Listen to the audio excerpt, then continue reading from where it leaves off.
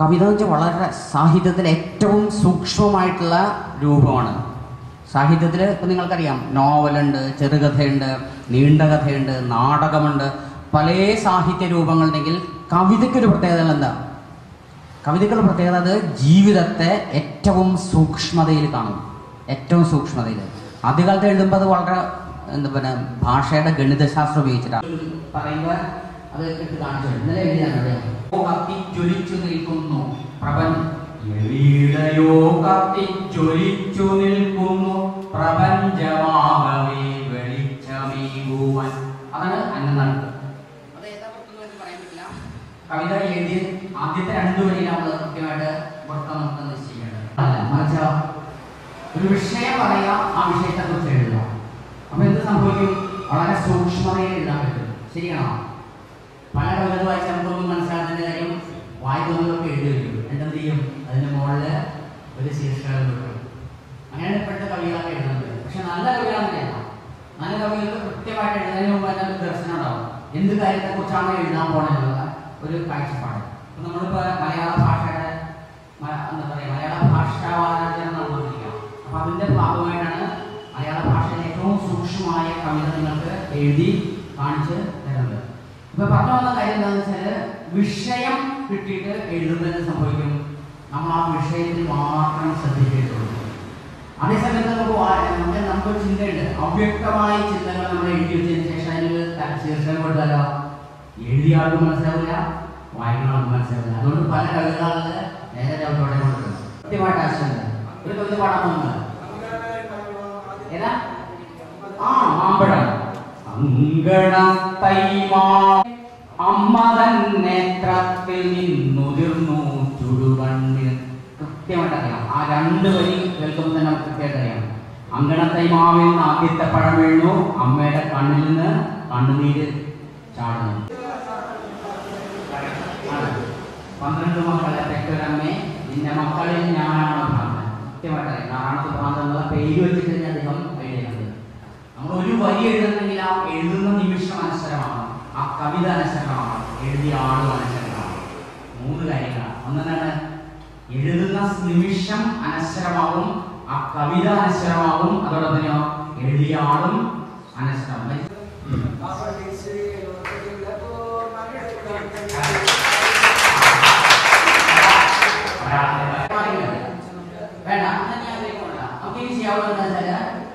ഒരു വിഷയം നിങ്ങൾ പറയാം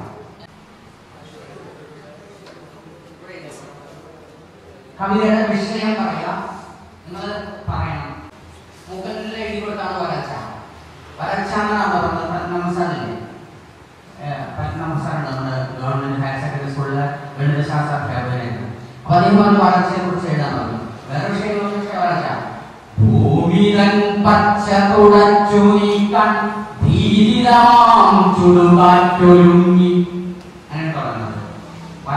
ഞാൻ എഴുതുമ്പോൾ ഈ ലോകം മുഴുവൻ മനസ്സിൽ കണ്ടുകൊണ്ട് എഴുതാം സാധാരണ കുട്ടി കുട്ടികൾക്ക് വേണ്ടിയിട്ടാണ് എഴുതുന്നതെങ്കിൽ പോലും ഇത് തുടങ്ങിയത് കുട്ടികൾക്ക് വേണ്ടിയിട്ടാണ് പക്ഷെ ഇപ്പൊ കുട്ടികൾക്കല്ല തെരുവിലാണ് ഞാൻ എഴുതി കൊടുക്കുന്നത്. ലോകത്തിൽ ഇറങ്ങിയിട്ട് എന്താ പറയാ വീടിനകത്തുനിന്ന് കവിത എന്ത് ചെയ്തു? സമൂഹത്തിൽ ലോകത്തിന് മുമ്പിൽ വെച്ച് അതുകൊണ്ട് എന്റെ മനസ്സ് എവിടെയാ? എവിടെ എത്തി ഭൂമി മുഴുവൻ എന്റെ മനസ്സാണ്. ഈ ലോകമേ പണ്ട് ഗാന്ധിജിയെ കുറിച്ച് ഒരു കവിത എഴുതിയിട്ടാരാ വള്ളത്തോട് എന്താ കവിത എന്റെ വിഭാഗം ലോകമേ തനിക്ക് ചെടികളും പുലുകളും പുഴുക്കളും കൂടി തൻ കുടുംബക്കാർ അങ്ങനത്തെ ഒരു തുടങ്ങുന്നതാണ് അപ്പൊ ഗാന്ധിജിയുടെ ലോകം എന്ന് ലോകമേ തറവാട്. കവികളെല്ലാവരും അങ്ങനെ ചെയ്യാറ് പക്ഷെ അങ്ങനെ ചിന്തയുള്ള ആളുകളുടെ ഞാൻ എന്റെ വീട്ടിലേക്ക് വരുന്ന സമയത്ത് ഒരു ഒരു ഞാൻ. വീട്ടിലേക്കുള്ളത് അതിനകത്ത് പറയുന്നത് ലോകമേ തറവാട് തനിക്ക് ചെടികളും പുൽകളും പുഴുക്കളും കൂടി കുടുംബക്കാർ സുന്ദര പാടി ഞാൻ വീടെത്തുമ്പോൾ പെട്ടെന്നു തനിച്ചായി. ലോകമേ പുറത്തായി. വെരുങ്ങി ചുരുങ്ങി ഞാൻ വീടിന്റെ ഉള്ളിൽ കയറി. വീടൊരു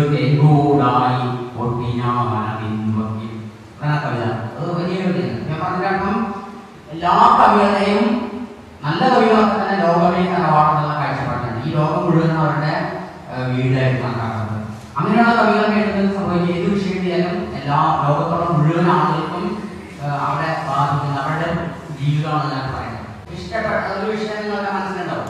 അത് പറഞ്ഞു. നിങ്ങൾക്ക് എഴുതാൻ പറ്റണം. ഏതാ? ഏതാ? പുഞ്ചിരി. പുഞ്ചിരി ഞാൻ എത്രയോ എഴുതിയിട്ടുണ്ട്. അതിനകത്ത് എവിടെ നിന്നാണ് പുഞ്ചിരി?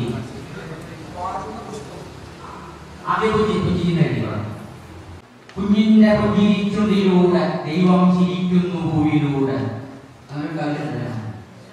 ഉം. ഓർമ്മയുണ്ട് പക്ഷേ അതിന്റെ ശേഖരിച്ച് ഇത് കാണിച്ചു തരും. അത് ഇതൊക്കെ ഉണ്ടാവില്ലേ? വേറെ വിഷയമാണോ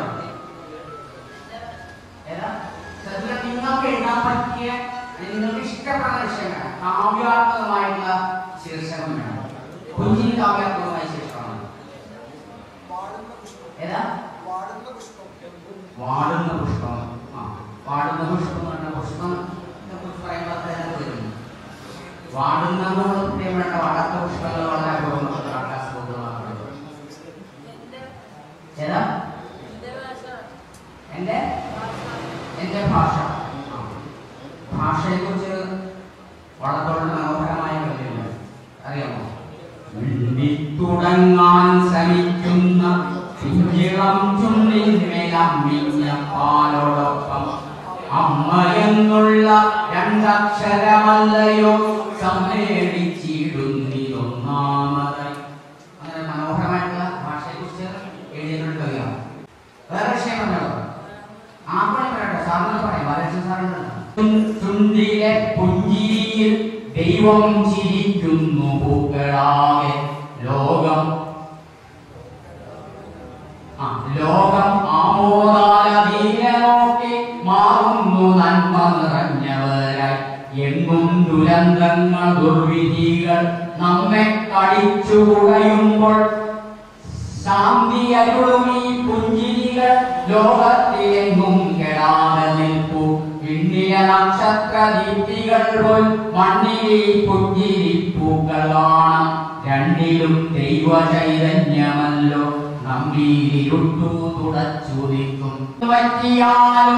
വറ്റാത്തതും നല്ല ദുഃഖങ്ങൾ ഉള്ളു നിറഞ്ഞിടുമ്പോൾ കണ്ണുനീരായി കവിഞ്ഞൊഴുകും. കണ്ണീരടക്കുവാൻ പാടുപെട്ടേ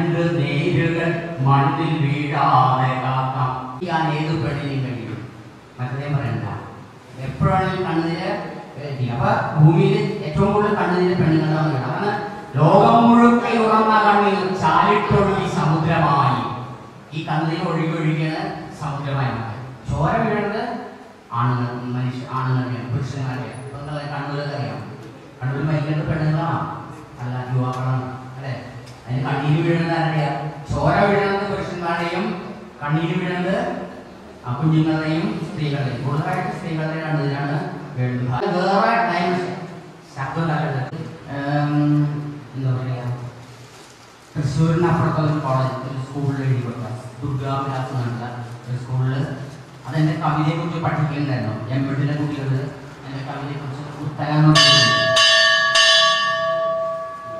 ഉത്തര എന്നൊരു കുട്ടി ഉത്തര എന്നൊരു കുട്ടി അവളുടെ തീസിസിൽ എന്റെ കവിതയെ കുറിച്ച് പഠിക്കാൻ വേണ്ടി കൊടുത്തു.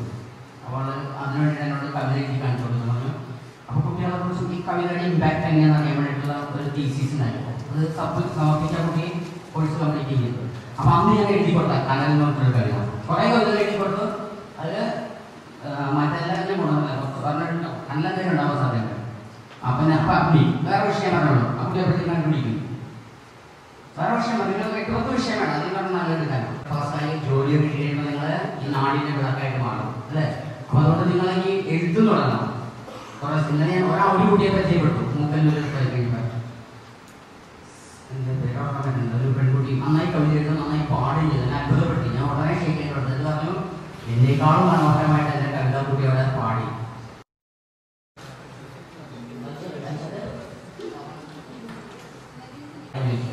ഈ വേറെ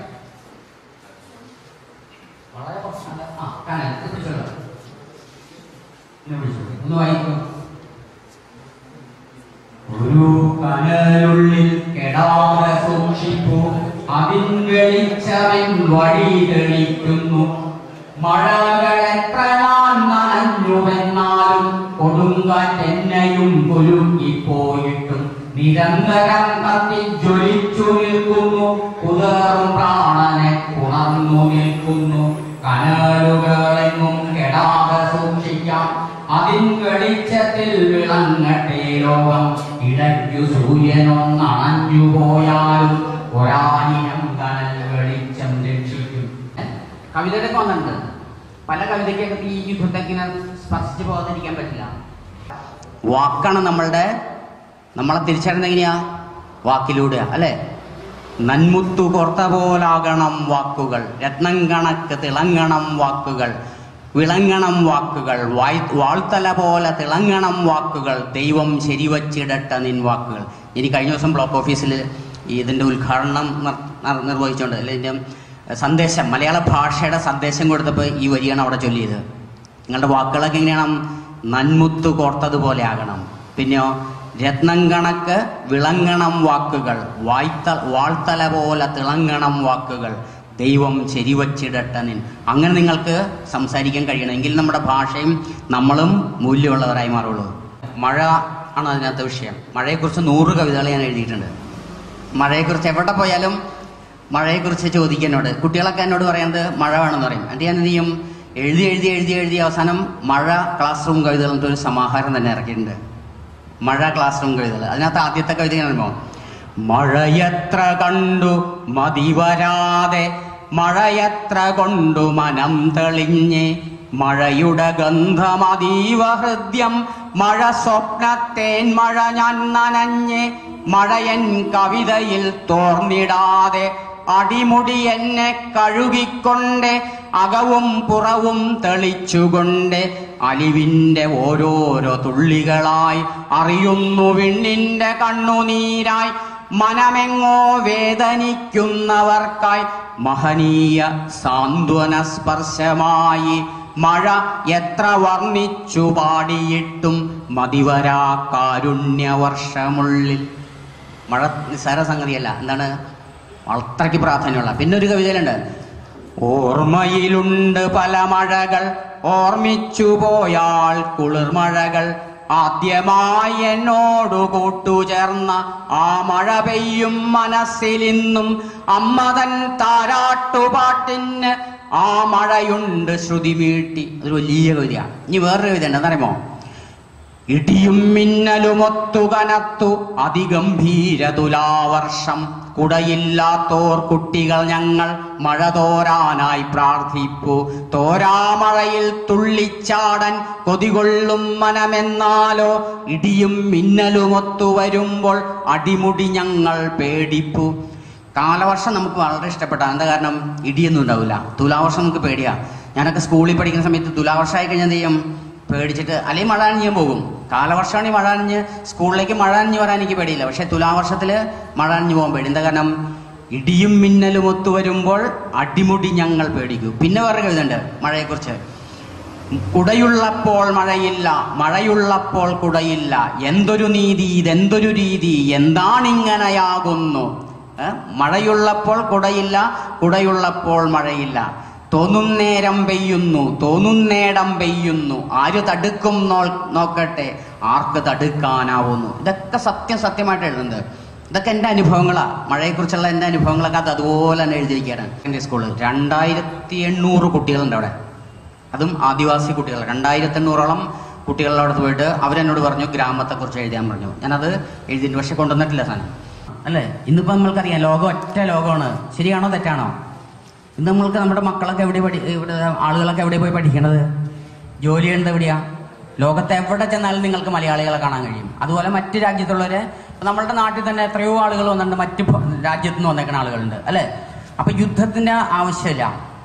യുദ്ധത്തിന്റെ പണ്ട് കൊച്ചു കൊച്ചു നാട്ടുരാജ്യങ്ങൾ തമ്മിൽ യുദ്ധം ഉണ്ടായിരുന്നു നിരന്തരമായ യുദ്ധം ഉണ്ടായിരുന്നു ഇപ്പോൾ ഇന്ത്യയിൽ ഒരു വലിയ രാജ്യമായതുകൊണ്ട് ഇന്ത്യക്കകത്ത് അങ്ങനെ വലിയ യുദ്ധങ്ങളില്ല. പക്ഷേ മറ്റ് രാജ്യങ്ങളായിട്ട് ഇപ്പോൾ എന്താ പറയുക പാകിസ്ഥാൻ നമ്മളോട് നിരന്തരമായി യുദ്ധം ചെയ്തുകൊണ്ടിരിക്കുക വളരെ വേദനിപ്പിക്കുന്ന കാര്യമാണ്. മരിക്കണ്ടാരാ അവിടെയായാലും സാധാരണക്കാരനായ ഒരു സഹോദരൻ അല്ലെങ്കിൽ ഒരു പിതാവ് അല്ലേ?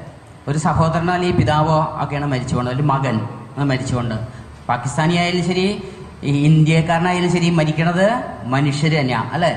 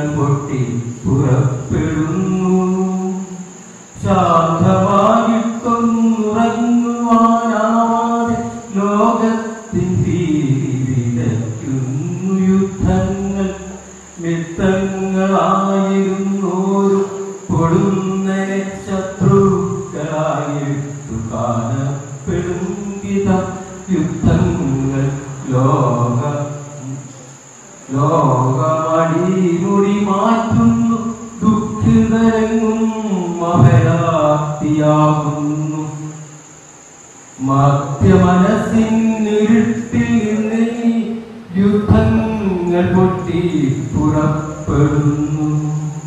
സ്വന്തമായുള്ളവയൊക്കെ ഉപേക്ഷിച്ചു വൻകടമത്തേയനാഥരായി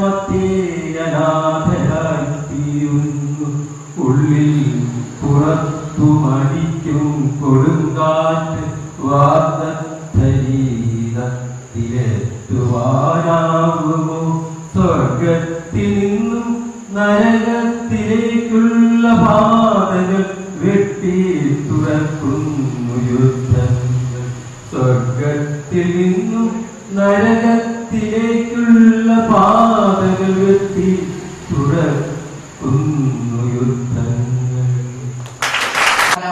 അല്ലെങ്കിൽ ഇപ്പൊ നടക്കുന്ന സ്ത്രീ എന്ന ആളുകളുണ്ട് അഭയാർത്ഥികളായിട്ട് കടൽ കടന്ന് അപ്പുറത്തേക്ക് കടക്കാൻ നോക്കും. കാരണം സാധാരണ നീ പോകാൻ പറ്റില്ല. സാധാരണ കപ്പലൊന്നുമില്ല അവിടെ. പക്ഷെ എന്ത് ചെയ്യും? തന്നെ ഒരു കപ്പൽ പായ്ക്കപ്പൽ എടുത്തതിനകത്ത് എല്ലാവരും ചാടിയിടലി എവിടെയെങ്കിലും തീരത്ത് ഏതെങ്കിലും തീരത്ത് വാഗ്ദത്ത ഭൂമിയാണ് അതിന്റെ വാഗ്ദത്ത ഭൂമി എന്നത് ശരിക്കും ബൈബിളിൽ ബൈബിളിലായിട്ടുള്ള ഒരു പ്രയോഗമാണ്. നമ്മൾക്കൊരു ഭൂമി നമ്മൾക്ക് വാഗ്ദാനം ചെയ്യപ്പെട്ടിട്ടുണ്ട് അവിടെ. ഇവിടെ പക്ഷേ അറിയാൻ പറ്റില്ല എവിടെയാ വാഗ്ദാനം ചെയ്യപ്പെട്ട ഭൂമി. പണ്ട് വാഗ്ദാനം ചെയ്യപ്പെട്ട ഭൂമി കൃത്യമായിട്ട് അറിയാം പക്ഷെ ഇവിടെ പള്ളിയാണ്. ഇന്ന് നമ്മളുടെ മലയാള ഭാഷാ ദിനാചരണം അല്ലെങ്കിൽ കേരള പ്രവയോട് അനുബന്ധമായിട്ടാണ് ഈ ഒരു പരിപാടി സംഘടിപ്പിച്ചിരിക്കുന്നത്.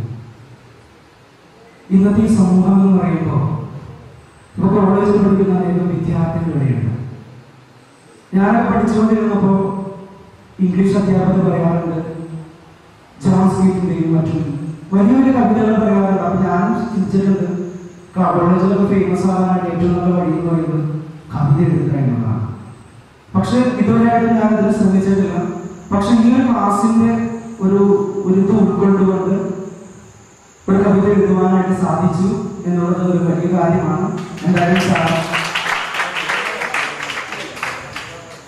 എന്തായാലും സാറിന്റെ ക്ലാസ് വളരെ ഇൻഫോർമേറ്റീവ് ആയിരുന്നു നിങ്ങളെല്ലാവരുടെ പേരിൽ ഒരു നന്ദി ആശംസിക്കുന്നു. രാഷ്ട്രപതിയുടെ പോലീസ് പണം നേടിയ ഡിവൈഎസ്പി പി എ വർഗീസാണ് സാറിനോട് ഒപ്പം സിനിമയ്ക്ക് ഗാനം പകർന്ന ജിം ജേക്കബ് ഇവിടെ അപ്പം പക്ഷേ പത്ത് മിനിറ്റ് കൊണ്ട് അവരെ അവിടുന്ന് പറഞ്ഞുവിടെ ചെയ്യും അവിടെ നിങ്ങൾക്ക് ഒരു ഭാരവും ഉണ്ടാക്കില്ല എന്ന് അറിയിക്കുന്നു. നമ്മുടെ പ്രിയപ്പെട്ട കവി ഞാൻ രണ്ട് ദിവസവും കവിത എഴുതാൻ എനിക്ക് ബാക്കിയുണ്ടായി ഇന്ന് മുന്നപ്പുറയിലും മൂക്കല്ലൂരും ഞാൻ കവിത എഴുതി. ഇന്ന് കവിത എഴുതാൻ പറ്റിയില്ല. അവിടെ ആയതുകൊണ്ട്. ആ. ആ, യുദ്ധമാണ്. മൂക്കന്നൂരെ വരൾച്ചയായിരുന്നു മഞ്ഞപ്പുറം നിലവിളക്കാണ്. ഇവിടെ ഇപ്പോൾ യുദ്ധം. മർത്യ മനസ്സിനിരുട്ടിൽ നിന്ന് യുദ്ധങ്ങൾ പൊട്ടിപ്പുറപ്പെടുന്നു ശാന്തമായിട്ടുറങ്ങുവാനാവാതെ ലോകത്തിൽ ഭീതി വിതയ്ക്കുന്നു യുദ്ധങ്ങൾ. എന്റെ പാട്ട് വിളിച്ചു കവിയോടുള്ള ബഹുമാനം കൊണ്ടാണ് പിന്നെ അദ്ദേഹം എന്തോ കവിത എന്തോ ഒരു പാടിയില്ലോ എന്ന് തോന്നുക വരാതിരിക്കാൻ വേണ്ടിയിട്ടാണ്. ഒപ്പം സിനിമയ്ക്ക് ഗാനം പകർന്ന് പ്രസിദ്ധരായ ജിൻജേക്കപ്പിനെയൊക്കെ ഈ മൂക്കന്നൂർ വേദിയിൽ ഒരുമിച്ച് കിട്ടിയപ്പോൾ നിങ്ങളുടെ മുമ്പിൽ സമർത്ഥരായ ഈ ആളുകളെ ഒന്ന് അവതരിപ്പിക്കാനും അതുവഴി നിന്നത്തെ പ്രചോദനം ഉണ്ടാകുവാനാണ് പെട്ടെന്ന് ഈ പ്രവർത്തനത്തിനൊരു പരിപാടി ഇറങ്ങിയത്. അപ്പൊ നിങ്ങളൊന്നും ഓർക്കുക കവി സുരേഷ് എന്ന് കേട്ടിട്ടുണ്ട് ഞങ്ങൾ തമ്മിൽ കണ്ടിട്ടുണ്ട്. നമ്മുടെ എം എൽ എ ആണെങ്കിൽ ജവഹർലാൽ നെഹ്റു യൂണിവേഴ്സിറ്റി ഡൽഹിയിൽ പഠിച്ചു എന്ന് പറയുമ്പോൾ പഠന ജിംബ ജിംബ. പഠനത്തോടൊപ്പം രാഷ്ട്രീയവും കൊണ്ടിടന്ന് നമ്മൾ പറഞ്ഞു എങ്ങനെയാ പഠനത്തോടൊപ്പം മറ്റു പലതും ചെയ്യുമ്പോ ഒന്നുകിൽ തോക്കും ഒന്നുകിൽ പഠനത്തിന് മാർക്ക് കുറയും അല്ലെങ്കിൽ രാഷ്ട്രീയത്തിൽ ഫെയിലാവും ഇദ്ദേഹം പഠനത്തിലും ഫെയിലാമൻ രാഷ്ട്രീയത്തിലും പറ്റി. ഞാൻ ഈ ഒപ്പ സിനിമ കാണാൻ പോയിട്ടേ ടൈറ്റിലൊന്നും ഞാൻ ശ്രദ്ധിച്ചില്ല. സിനിമ ഇത് കഴിഞ്ഞ ഒരു ദിവസം മലയാള മനോരമ പത്രത്തിൽ ഞായറാഴ്ച പേജിൽ ഒപ്പത്തിനൊപ്പം എന്ന് പറഞ്ഞ് ജിമ്മിന്റെയും ഫോട്ടോകളുടെയും ഇപ്പോ ഞാനും സ്റ്റണ്ടായി. നമ്മുടെ അന്നാണ് ഇത്രയും വലിയ പ്രതിഭകൾ ഈ നാട്ടിലുണ്ടെന്ന് അറിയുന്നത്. അപ്പോ അവരെയും അനുമോദിക്കുന്നു. കാര്യങ്ങൾ നീട്ടിക്കൊണ്ടുപോകില്ല എം എൽ എയും ജിമ്മും ഒക്കെ എന്തൊക്കെ ഒരു വാക്ക് പറയും. വർഗീസ് സാറേ കേട്ടു അഞ്ചോ പത്തോ പത- പതിനഞ്ചോ മിനിറ്റുകൊണ്ട് പരിപാടി തീരും ഒരുമിച്ച് ഈ പ്രതിഭകളെ നമുക്ക് കാണാൻ ഒരു അവസരം എം എൽ എ ആണെങ്കിൽ Mookkannoor P S C class വന്നു ഇവിടെ വന്നില്ല എന്നുള്ള ദുഃഖം എം എൽ എക്ക് ഉണ്ടെന്ന് പറയുന്നത് എനിക്ക് നിലനിൽക്കുകയാണ് അത് അത് പരിഹരിക്കപ്പെടുന്ന കൂടെ പഞ്ചായത്ത് പ്രസിഡന്റ് ആ, വൈസ് പ്രസിഡന്റ് വാർഡ് മെമ്പർമാര് നമ്മുടെ മുൻ ആ, പഞ്ചായത്ത് മെമ്പർമാരെ ജോസ് ഒക്കെ ഉണ്ട് എല്ലാവരെയും സ്വാഗതം ചെയ്യുന്നു എം എൽ എയെ ഈ എന്താ പറയണേ ഞങ്ങൾ സംബോധന ചെയ്യാൻ ചെയ്യും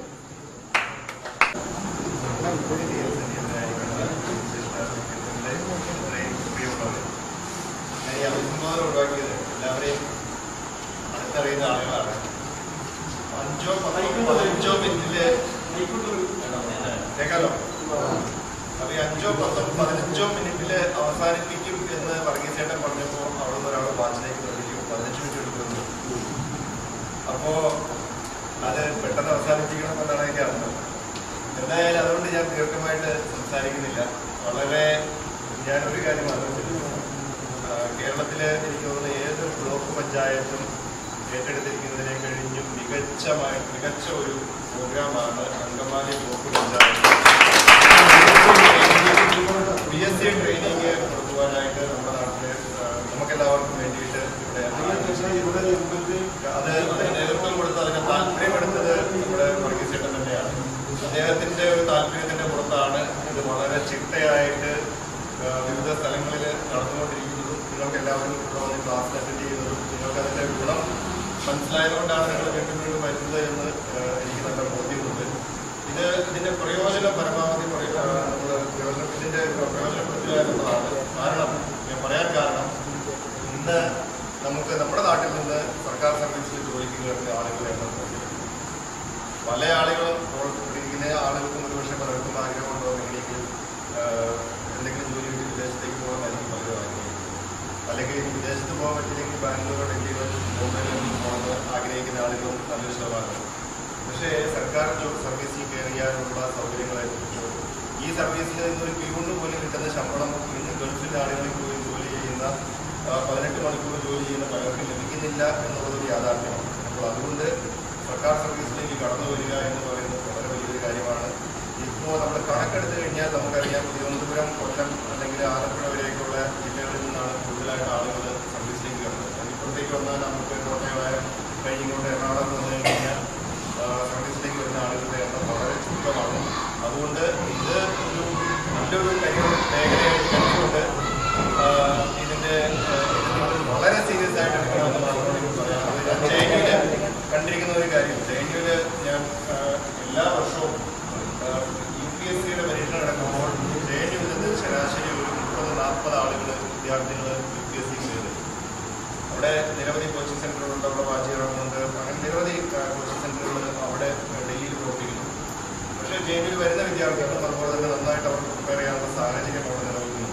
അതുകൊണ്ട് ആ സാഹചര്യങ്ങൾ പരമാവധി അവരെ പ്രയോജനപ്പെടുത്തുന്നതുകൊണ്ടാണ് ഇത്രയധികം കുട്ടികൾക്ക് ഓരോ വർഷവും ജയിലിൽ യു നിന്ന് ക്ലിയർ ചെയ്യാൻ സാധിക്കും നമ്മുടെ കേരളത്തിൽ നമ്മുടെ വിദ്യാഭ്യാസ മേഖലയിലൊക്കെ വളരെ മുന്നിലിരിക്കുന്ന ആളുകളാണ്. പക്ഷേ യു പി എസ് സി പരീക്ഷ വരുമ്പോൾ നമ്മൾ U P S C clear ചെയ്യുന്ന ആളുകൾ ഓരോ വർഷത്തിലും നമ്മുടെ കണക്കെടുത്ത് കഴിഞ്ഞാൽ മലയാളികൾ വളരെ കുറവാണ്. ബീഹാർ യു പി നമ്മൾ ബീഹാറിൽ യു പി തന്നെ നമ്മൾ കുറിച്ചതോടെ പറയും. പക്ഷേ ബീഹാറിൽ നിന്ന് പി ആളുകളാണ് ഏറ്റവും അധികമായിട്ട് സർവീസിലേക്ക് സിവിൽ സർവീസിലേക്കൊക്കെ കടന്നു അതുകൊണ്ട് ഇത് വളരെ സീരിയസ് ആയിട്ട് എടുക്കണം. ഇതിന്റെ വളരെ ഇതിന്റെ പ്രയോജനം പരമാവധി അത് ഉൾക്കൊണ്ട് നമ്മൾ സർവീസിലേക്ക് വരണമെന്നാണ് നമ്മൾ ആഗ്രഹിക്കുന്നത്. ഞാൻ ഒരു കാര്യം ഞാൻ പറയാം. ഇവിടെ ഇവിടെ നിന്ന് കോച്ചിങ് നേടി ഇവിടെ സർവീസിലേക്ക് നിങ്ങൾക്ക് ഈ കോച്ചിങ് ക്ലാസ്സുകളുമായിട്ട് മുന്നോട്ട് പോകാനായിട്ടുള്ള എല്ലാ സഹകരണവും എല്ലാ പിന്തുണയും പൊതുപഞ്ചായത്തുകളാണ് എന്റെ ഇവരൊക്കെ സിവിൽ സർവീസിലേക്കാണ് സിവിൽ സർവീസിലേക്ക് സിവിൽ സർവീസിലേക്ക് കടന്നു വരണം നിങ്ങളിൽ ആർക്കെങ്കിലും ഞാനത് പറയുന്നത് ഞാൻ വെറുതെ പറയുന്നതല്ല ഞാൻ ഡൽഹിയിൽ നിരവധി കാലം ഡൽഹിയിൽ ജീവിച്ച ഒരാളാണ്. നിങ്ങൾക്ക് ആർക്കെങ്കിലും ഇതിന് ശേഷം ഡൽഹിയിലേക്കോ വേറെ എവിടെയെങ്കിലും പോയി ട്രെയിനിങ്ങിനോ കോച്ചിങ്ങിനോ പോകാൻ നിങ്ങൾ ആഗ്രഹിക്കുന്നുണ്ടെങ്കിൽ അതിന് വേണ്ടുന്ന എല്ലാ സഹായങ്ങളും പരമാവധി സഹായങ്ങൾ അവിടെ അതുകൊണ്ട് ഞാനുണ്ട് നിങ്ങൾക്ക് ഏതൊരു സമയത്ത് നിങ്ങൾക്ക് ബന്ധപ്പെടാം എം എൽ എ ആരുമായിട്ട് പഞ്ചായത്ത് ആരുമായിട്ട് ബന്ധപ്പെട്ട് അതിനുള്ള സഹകരണങ്ങൾ ഏഹ്, പിന്തുണ നമ്മുടെ ഭാഗത്ത് തീർച്ചയായിട്ടും ഉണ്ടാവുന്നതാണ് നിങ്ങൾക്ക് എല്ലാവിധ ഏഹ്, വിജയങ്ങളും ആശംസിക്കുന്നു ഇവിടെ നമ്മുടെ ഇന്നും വിജയം ഇവിടെ എത്തിയിട്ടുണ്ട് വളരെ നമ്മളെ സംബന്ധിച്ച് വലിയ അഭിമാനിക്കാവുന്ന കാര്യമാണ് നമ്മുടെ നാട്ടിൽ നിന്ന് ഞാൻ സിനിമ കണ്ടു. ഞാൻ പരമായ സിനിമയൊക്കെ കാണുന്ന ഒരാളാണ് ഏഹ്, പല സിനിമകളും നേരത്തെയൊക്കെ ഇഷ്ടംപോലെ കാണാൻ എനിക്ക് സമയം കുറവാണ് കാണാൻ പക്ഷേ ഞാൻ ഒപ്പം സിനിമ ഞാൻ കണ്ടു ഏഹ്, സിനിമ ഏഹ്, നന്നായിരുന്നു അതിന് ഒരുപാട് അഭിപ്രായങ്ങളുണ്ട് അത് ഞാൻ ഏഹ്, കുറെ- ഞാൻ പിന്നെ നന്നായിട്ട് ഏഹ്, ഒരു ഒരു ഫിലിം ക്രിറ്റിക് കൂടിയാണ് ഞാൻ അത് നന്നായിട്ട് എൻജോയ് ചെയ്യുന്ന ഒരാളാണ് പക്ഷേ ഞാൻ എടുത്തു പറയാൻ ആഗ്രഹിക്കുന്ന സിനിമയുടെ സംഗീതം മാത്രമാണ് പാട്ടുകൾ വളരെ നല്ല പാട്ടാണ് ഏഹ്, അവരെ ഞാൻ പ്രത്യേകമായിട്ട് അനുമോദിക്കുകയാണ് അപ്പോൾ അവർ ഇവിടെ രണ്ട് വാക്ക് സംസാരിക്കാനുള്ളത് അവർ പാട്ടുകൾ പാടുവാനാണ് കൂടെ സിനിമയിലേക്ക് വളരെ ആവശ്യമാണ് ഞാൻ എത്തിയത്. അതിന്റെ കാരണം എന്റെ മമ്മി തന്നെയാണ്. മമ്മീനെ ഇവിടെ എല്ലാവർക്കും തന്നെ അറിയാവുന്ന ആളാണ്. അപ്പം മമ്മിയാണ് ഞങ്ങൾ ആൻഡി ചേട്ടന്റെ ശ്രീ ആൻഡി പെരുമ്പാടിന്റെ ഈ പരിചയപ്പെടുത്തിയത്. ഞങ്ങൾ ഇതിക്ക് ഒരു സിനിമ ചെയ്തിട്ടുണ്ടായിരുന്നു. ഇത് ഞങ്ങളുടെ രണ്ടാമത്തെ സിനിമയാണ്. ജസ്റ്റ് മാരീഡ് എന്നായിരുന്നു ഞങ്ങളുടെ മൂവിയുടെ പേര് സോ ആ സിനിമ കഴിഞ്ഞ് അതിന്റെ പാട്ടുകൾ ഒക്കെ ഉണ്ടായിരുന്നു. അത് ഞങ്ങൾ ആൻഡി ചേട്ടനെ കൊണ്ടേ കാണിച്ചു കൊടുത്ത് ഒരുപാട് സ്ട്രഗിൾ ചെയ്തു. ശരിക്കും സ്ട്രഗിൾ ചെയ്തു ഇപ്പോൾ നേരത്തെ പറഞ്ഞ കണക്ക് തന്നെ. ഓരോരുത്തർക്കും ഓരോ പാഷൻ ഉണ്ടാവും. പാഷൻ മാത്രമല്ല നിങ്ങളിപ്പോൾ ഇവിടെ ഇരിക്കുന്നതും അതുപോലത്തെ ഒരു പാഷൻ ഉണ്ടാവുന്നതാണെന്ന് ഞാൻ വിശ്വസിക്കുന്നു അപ്പോൾ ആ പാഷന്റെ പുറകെ പോയ ആൾക്കാരാണ് ഞങ്ങൾ അപ്പോൾ നേരത്തെ റോഹിത് സാറ് അവിടെ ചോദിച്ചു റോഹിത് സാറ് എസ് എച്ച് എസിൽ പ്രസംഗിച്ചപ്പോൾ പറഞ്ഞു പാഷൻ സാറിന്റെ പാഷൻ പൊളിറ്റിക്സ് ആയിരുന്നു. ഞങ്ങളുടെ പാഷൻ മ്യൂസിക്കാണ് അപ്പോൾ മ്യൂസിക്കിന്റെ പുറകെ ഞങ്ങൾ പോയി. അതിന് കൈവിട്ടില്ല. സ്ട്രോങ് ആയിട്ട് തന്നെ പോയതുകൊണ്ടാണ് ഇന്നിപ്പോൾ ഒപ്പം പോലത്തെ ഒരു പടം ചെയ്തിട്ട് ഇവിടെ നിൽക്കാൻ പറ്റും. അപ്പോൾ നിങ്ങളുടെ ഈ പാഷൻ കളയരുത് ഒരിക്കലും. മുമ്പോട്ട് തന്നെ സ്ട്രോങ് ആയിട്ട് പോകാം പിന്നെ പറയാനുള്ളൊരു കാര്യം എന്ന് പറഞ്ഞാൽ അപ്പം ഞാൻ പടത്തിലേക്ക് പറഞ്ഞത് അങ്ങനെ ആൻഡിജന്റെ അടുത്ത് എത്തി അവിടെ നിന്ന് പ്രീം സാറിന്റെ അടുത്തേക്ക് ഞങ്ങൾ റെഫർ ചെയ്തു. റെഫർ ചെയ്താണ് റെക്കമെൻഡേഷൻ അല്ല റെഫർ ആയിരുന്നു. സോ റെഫർ ചെയ്ത സാറിന്റെ അടുത്ത് എത്തി. സാറിനെ ആദ്യമായിട്ട് കണ്ടു. ഇന്ത്യയിലെ ഏറ്റവും വലിയ ഒരു ഫിലിം ഡയറക്ടർ ഞങ്ങൾ തന്നെ ജീവിതത്തിൽ ഒരിക്കൽ പോലും കാണും പോലും പ്രതീക്ഷിച്ചിട്ടുള്ള സമയത്താണ് കാണുന്നത്. അതിന്റെ അതിന്റെ പേടിയുണ്ടായിരുന്ന ഒരുപാട് അവിടെ ചെന്ന് കണ്ടു. പിന്നെ ഞങ്ങൾ മാത്രമല്ല ഒരുപാട് ഡയറക്ടേഴ്സിനും മ്യൂസിക് ഡയറക്ടേഴ്സിന്റെ അടുത്ത് പറഞ്ഞിട്ടുണ്ടായിരുന്നു സാറ് പാട്ടുകൾ ചെയ്യാനായിട്ട്. അപ്പോൾ ലാസ്റ്റായിട്ട് സാറിനെ കാണാൻ പോയ ആൾക്കാരെ ഞങ്ങൾ കാണും. ഞങ്ങൾ ചെന്ന് കണ്ടു. സാറ് ഞങ്ങളുടെ സിറ്റുവേഷൻ പറഞ്ഞു. പാട്ടുകൾ ഞങ്ങൾ ചെയ്തു. കൊണ്ടേ കൊടുത്തു. ആദ്യത്തെ രണ്ട് പാട്ടുകൾ. സാറിന് ഓപ്ഷൻ വേണമെന്ന് പറഞ്ഞിട്ടുണ്ടായിരുന്നു അതിന് ഓപ്ഷൻസ് ഞങ്ങൾ കൊടുത്തു. ഓപ്ഷൻസ് കേട്ട് ഫസ്റ്റ് മീറ്റിംഗിൽ തന്നെ സാറ് രണ്ട് പാട്ട്. ഇപ്പോൾ നിങ്ങൾ കേൾക്കുന്ന ഈ പഞ്ചാബി സോങ് അതിനകത്ത് പഞ്ചാബി സോങ് അതുപോലെ തന്നെ മിന്നു മിന്നാമിങ് എന്നുള്ള സോങ് ഫസ്റ്റ് സൺഡേ സോങ് ഒറ്റ മീറ്റിംഗിൽ തന്നെ ലോക്കായി അതോടുകൂടി സാർ എല്ലാ പാട്ടും ഞങ്ങൾ ഏൽപ്പിക്കുകയായിരുന്നു.